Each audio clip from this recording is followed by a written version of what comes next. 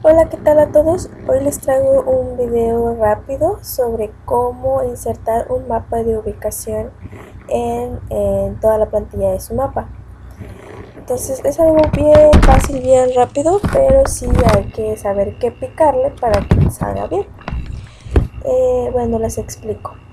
Una vez que ya tienen ustedes su mapita aquí y deciden que quieren ponerle un mapa de ubicación un poquito más abajo o al lado, incluso aquí mismo, ya dependerá de ustedes, eh, pues es bastante sencillo.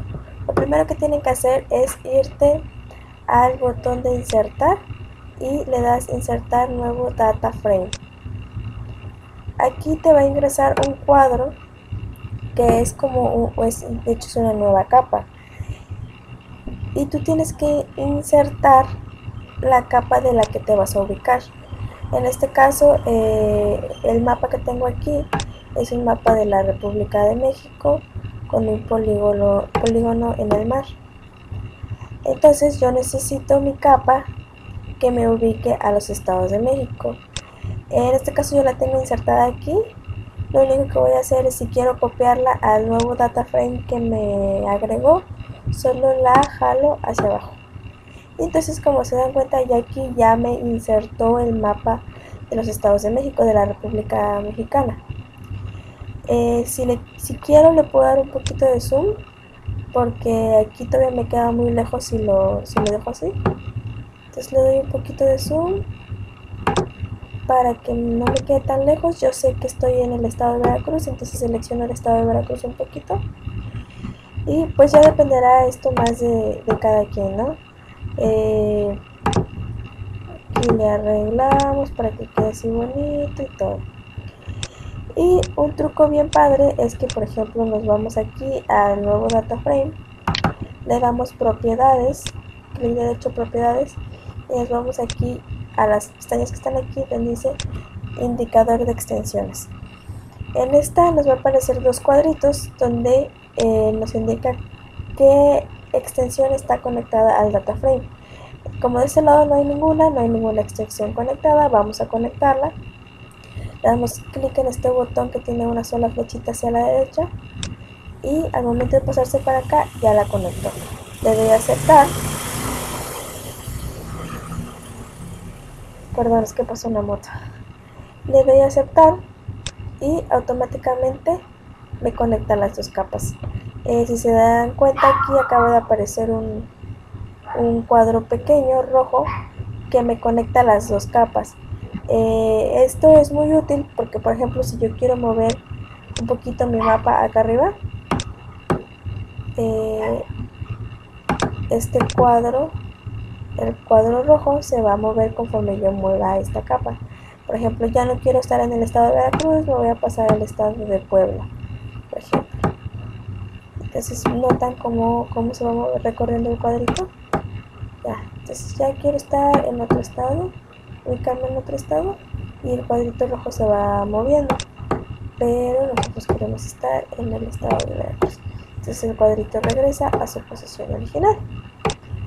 Y bueno, ya si quieren agregarle otras cosas, por ejemplo esas líneas que luego han visto en los mapas que conecta este cuadro como si fuese una vista macro.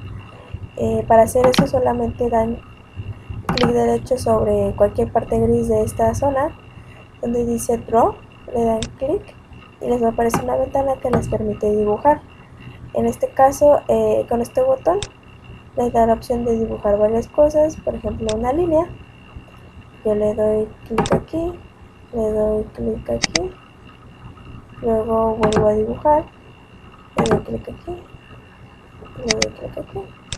Entonces me aparece como si fuese un zoom cierto pero pues ya aquí va a depender de cada quien. Pueden insertar aquí letras. No sé que diga eh, ubicación no ubicación.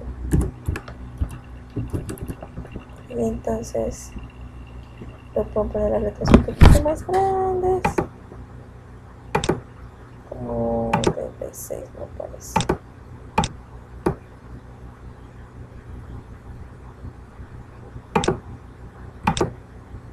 Sí. Oh, aquí me falló. pero aquí lo podemos editar si le dan doble clic en caso de que se hayan equivocado le dan doble clic y ya les permite editar lo ponen por ejemplo aquí lo pueden poner ubicación este lo ponen un poquito más arriba si se dan cuenta aquí tendrían ustedes que ajustar las las líneas. Pero ya depende del diseño de cada quien. Ya. O por ejemplo mucha gente le gusta eh, poner el mapa de ubicación. Voy a borrar esto. Eh, dentro del mismo del mismo mapa del mapa más grande.